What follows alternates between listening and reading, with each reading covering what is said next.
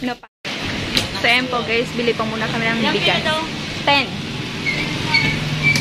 10 kilos. Hello everyone! Hi! Ayan, dami namin oh. Ayan, paakyat lang po tayo. Akyat lang pa uwi sa bahay. Ganito po ang daanan namin guys, dito sa probinsya. Yee! Diba? Konting exercise lang din. Hello, Darlene. Kaya pa? O, diba?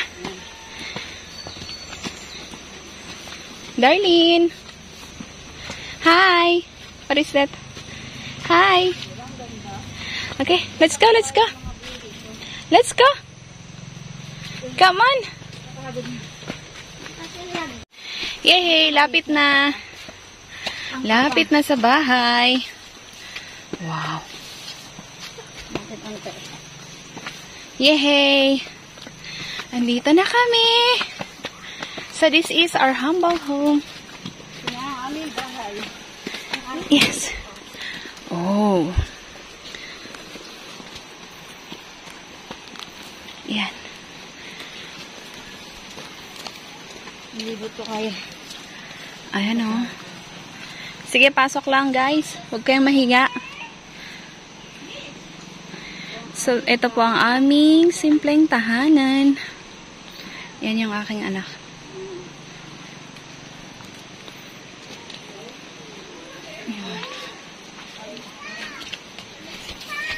Okay. Sige, pasok lang kayo guys. Huwag kayong mahiya. Walang hiya-hiya. Ayan pa. May isa pa. Ayan. Napagod silang umakyat. Yoko na, wala ka na duo. Okay. Guys, guys, guys. Uh, sinong gusto ng kalajung, guys? Ayun, ang laki dito, oh. oh, ha? Yan pa, oh. Kalajum, kalajum. Ito po, oh. May orchids din po tayo dito, guys. Ayan, oh. Oh, diba? Pero hindi ko alam. Ito yata yung orange yung ano sa... Um, orange yung kanyang flower. But I'm not sure. Matagal din kasi, eh. Ayan. So, with fern din siya. Ayan. Another wild orchids. Ayan siya, guys. O, diba? O, yan.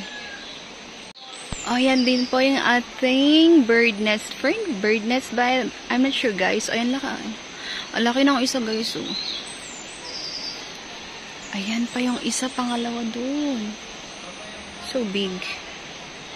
Grabe, oh, laki. Diba?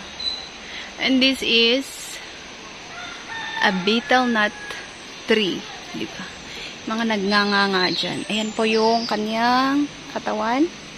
Pababa. So, ayan. We have so much betel nut tree here. Ayan, guys.